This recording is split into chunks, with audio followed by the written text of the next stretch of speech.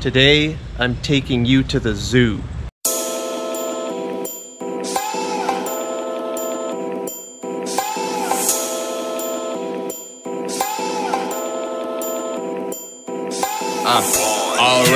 This is the end of life. Out of mind, out of sight. Liquid is blended ice. Only time I see the light when morning turns into night. This is left, no, it's right. Living comes with a price. What would you do for paper? No, what would you do for likes? I'm a straight up 90s baby, new generation and type. I'm dicking her down heavy, you pillow talking the light. I can't take these niggas serious. Some of them turning dyke. We're at the zoo.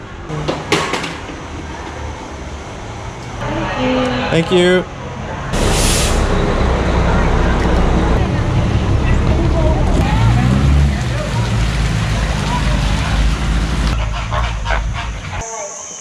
Hello.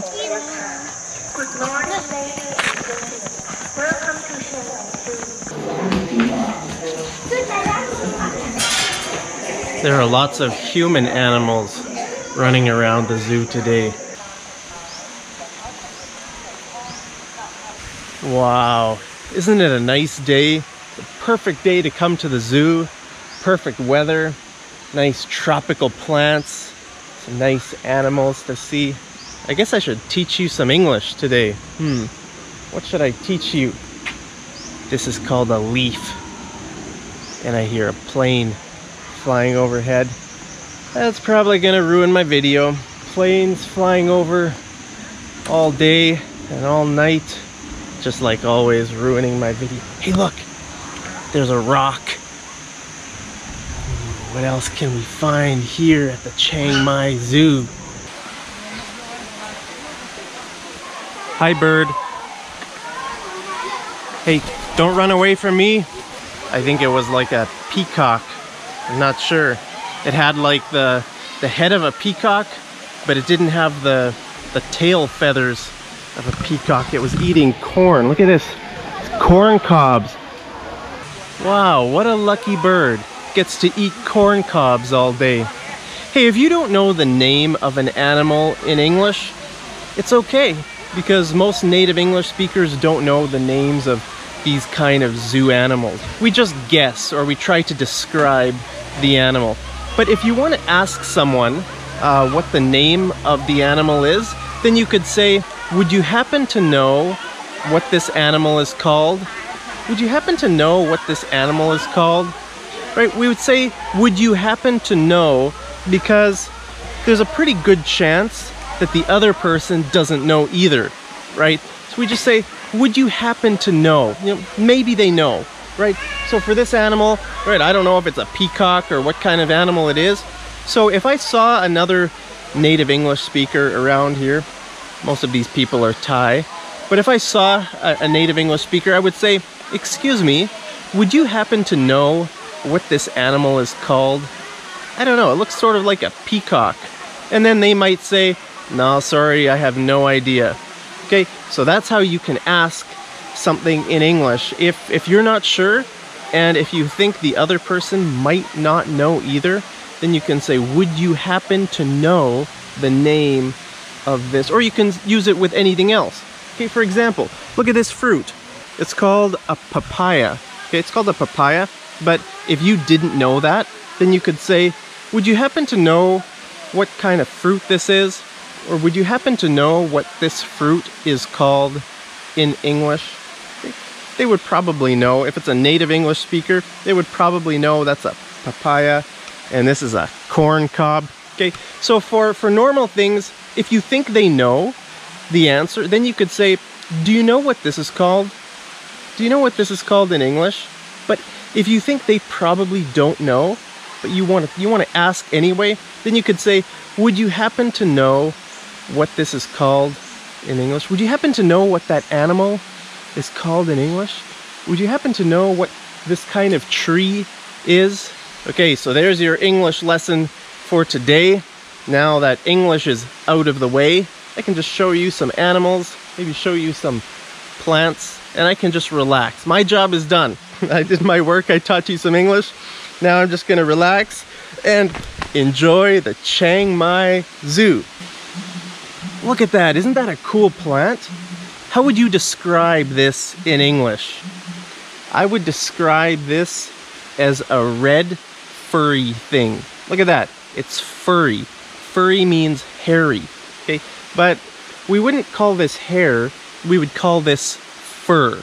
Okay, most animals and uh, and like plants like this, especially plants, I don't think we would use the word hair. We would use the word fur. Okay, sometimes leaves are a little bit furry, or sometimes the like the the branches of a tree or like a leaf are a little bit furry as well. Let me see if I can find a tree with a little bit of fur.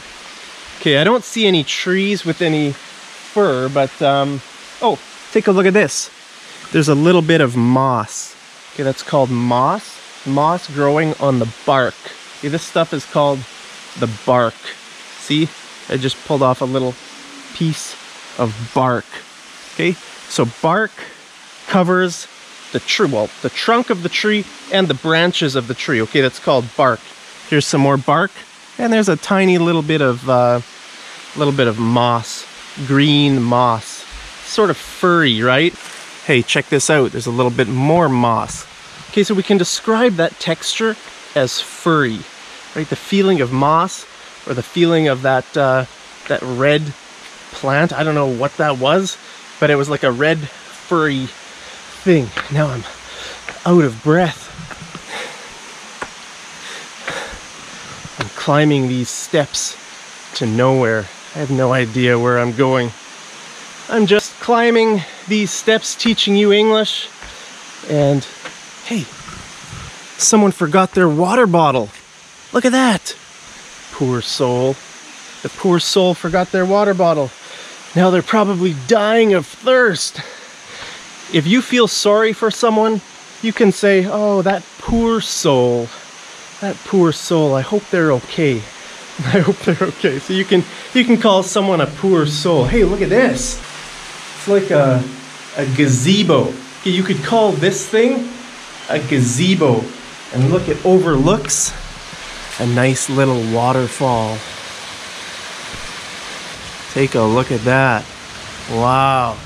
Sort of like I'm in the jungle. Feels like I'm in the jungle. I better be careful for snakes. I hope there's no snakes in this zoo. Hey, what's in here? Any animals in here? Hmm. It looks like a cage for something, but there's no animals in there. Maybe it could be a cage for me. Hey, maybe I could live in this cage. That way, when you come to visit the Chiang Mai Zoo, you could see me, the founder of Mad English TV, a mad animal. You could see a mad animal here at the Chiang Mai Zoo if I live in that cage.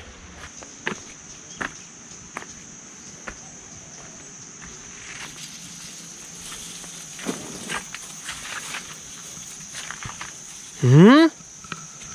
I came to a dead end. I climbed all those stairs for nothing. It just came to a dead end. If a road or a path just suddenly stops and there's nowhere to go, that's called a dead end. So I just came to a dead end. I climbed like 500 stairs and it just dead ended.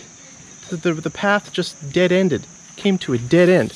Well, I guess I'm gonna have to go all the way down the stairs and go find some animals in a different place.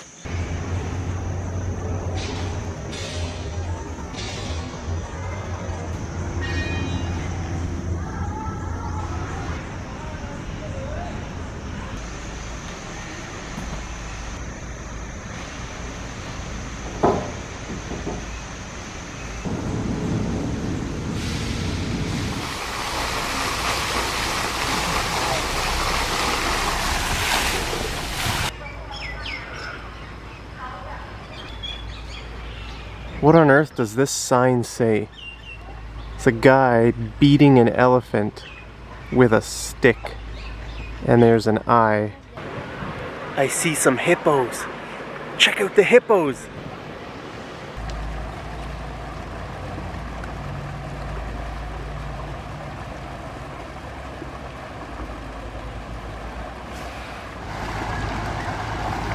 Hi hippo. Look over here. Look up to Uncle Mark. What are you eating? The cement? You eating cement? That's not healthy.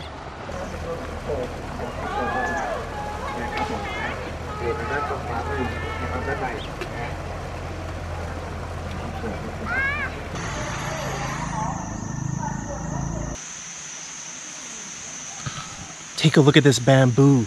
Isn't that cool? Yellow bamboo. Wow. It's like a really cool bright yellow color. Don't you love bamboo? I really love bamboo. I hope in the future I can live in a bamboo hut. Wouldn't that be cool? Wouldn't you love to live in a bamboo hut in the middle of a jungle somewhere with nice birds and flowers, tropical plants and snakes and scorpions? and tigers.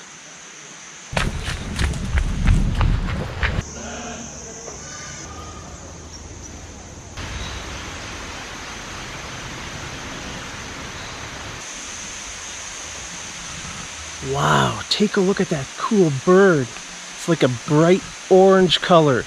That is so cool. Hey, I thought of another word I should teach you for uh, in case you visit the zoo in the future. Okay, it's a very important zoo word, and that is the word exhibit. Exhibit. Okay, if you go to a zoo in an English speaking country, you're gonna see the word exhibit. Exhibit.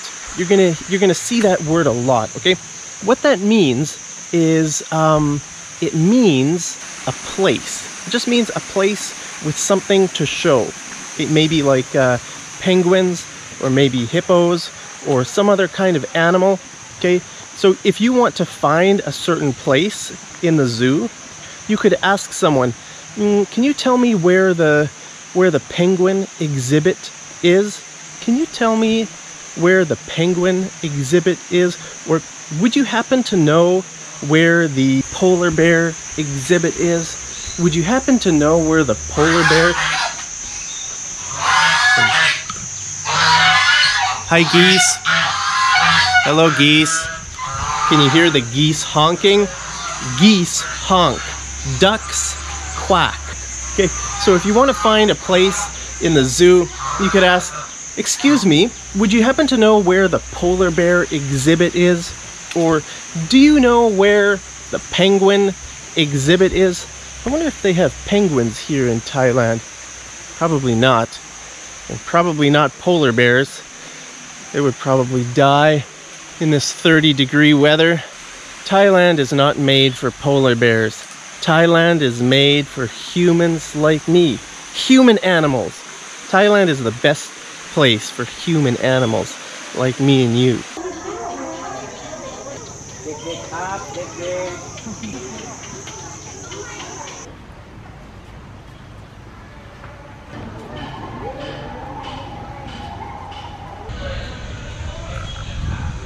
You have to pay extra to see the pandas.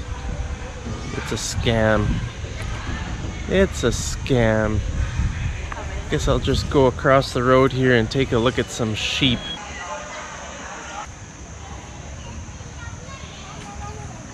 Hi sheep. Look over here. You're just as important as the pandas, right? You're just as important as the pandas. All animals are equal except people don't eat pandas, they eat sheep.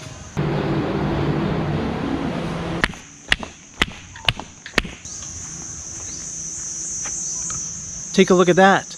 The word ambulance is written in mirror image. Look. Do you know what mirror image is? It means it's backwards. So why would it be written backwards? Well, it's because when people are driving and the ambulance is behind them and they look in their mirror, then they can read the word ambulance the right way, right? That's why it's written backwards there. We call that mirror image.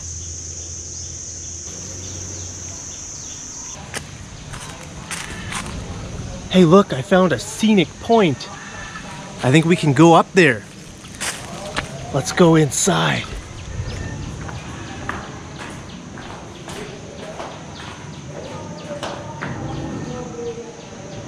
Wow. Okay. We're climbing up the scenic point. What are we going to see at the top of this scenic point? Hmm. Hmm. See some cigarettes? Look, some cigarette butts. This little piece of the cigarette is called the butt. The cigarette butt. Oh, here's some bottles here. Oh, we're not at the top of the scenic point yet. I thought we climbed all those stairs just to see cigarette butts, but maybe we'll get an even better view from up here. Wow, look at this. Isn't that a nice scenic view? Wow. Look at all those trees down there.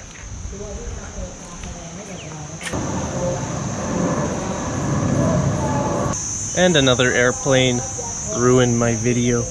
But take a look at these red blossoms. Look at these blossoms. Aren't they cool? Wow. They're so bright. I wonder what kind of a tree this is. If they're cherry blossoms, that would be cool. Eat some cherries. Maybe I can come back here in a few months and pick some nice cherries, some nice ripe, juicy red cherries off that tree.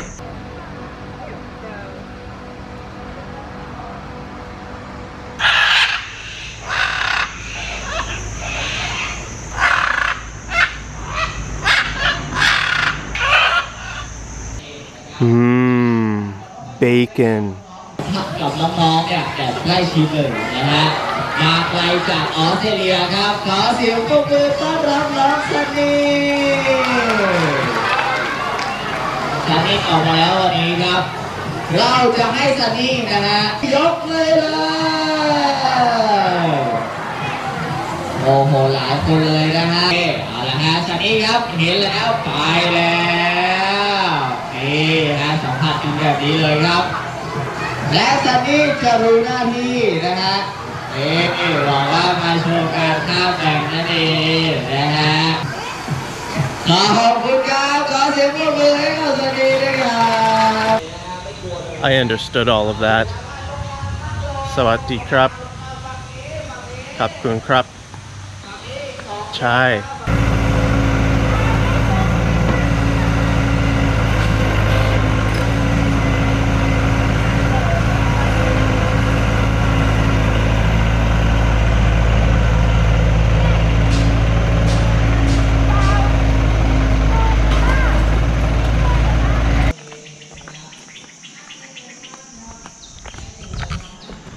Wow, isn't this nice?